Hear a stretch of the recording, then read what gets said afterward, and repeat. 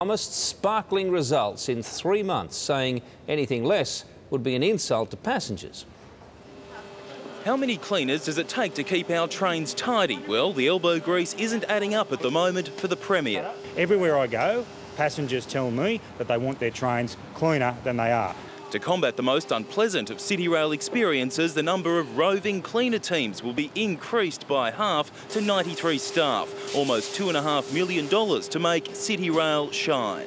And we expect them to start actually physically out on the system within a matter of six to eight weeks' time. Their first job, the dirtiest stations on the network. 15 hotspots have been identified, the most complained about stations from Sydney to the Hunter and Illawarra. There's no excuse for dirty trains. Uh, passengers shouldn't have to accept it. I'm determined to fix it. Ironic, claims the opposition, because Railcorp wants 600 fewer station staff, the very people already keeping our stations clean.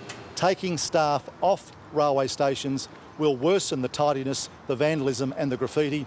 While City Rail's taking out the trash, it's also been accused of clogging up our suburbs. Complaints are growing at places like here at Epping where commuters are forced to park their cars and walk to the train station. Uh, a lot of horns, a lot of people abusing each other on the road.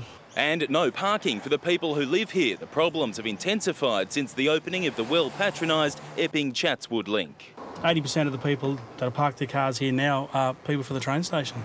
A new station with no car park, with a simple answer from the man at the top. Uh, plenty of service by buses for those stations. Josh Murphy, 10 News.